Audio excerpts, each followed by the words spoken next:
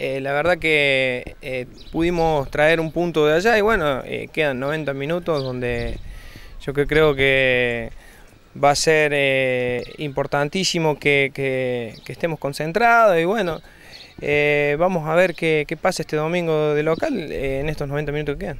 Gustavo, bueno, jugaron ya 90 minutos, equipo que ya se conocen, si bien ya habían jugado en dos oportunidades en, en el corriente año, pero una final se juega distinto, ¿no? Con, con cabeza un poco más tranquila, más pensante.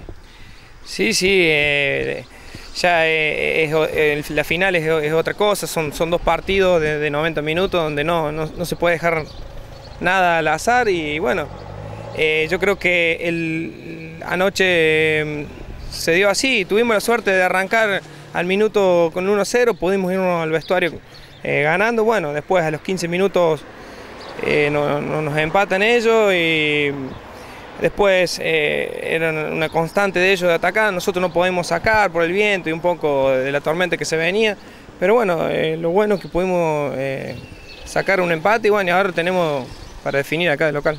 se descuenta que va a ir muchísima gente de Vicuña Maquena, hincha de San Martín, hincha del fútbol, a acompañarlo a usted y además también, ¿por qué no?, a ver un partido de fútbol.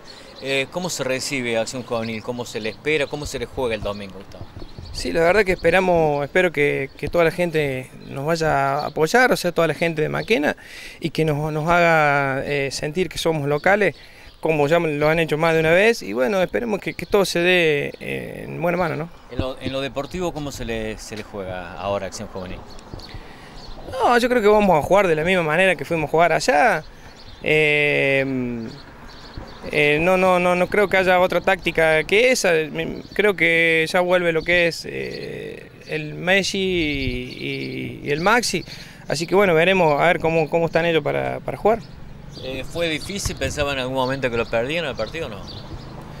No, no, como vos recién decías, ya nos hemos enfrentado varias veces y, y sabemos cómo debemos jugarle y bueno, ellos también nos conocen, así que en ningún momento pensamos que lo podemos perder, siempre íbamos adelante.